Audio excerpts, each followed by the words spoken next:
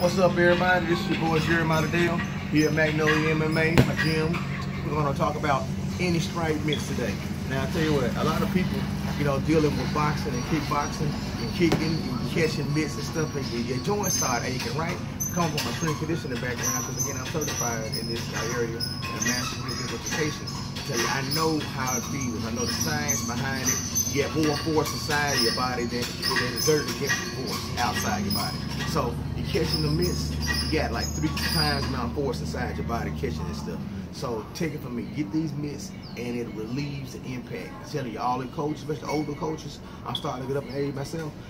You need to be able to get a mitt like this so you minimizing the impact on your joints. All right, so holler at your boy Jeremiah Liddell, Magnolia MMA. Go out and get some of these AnyStrike mitts. It's Jeremiah Liddell. Peace out, everybody.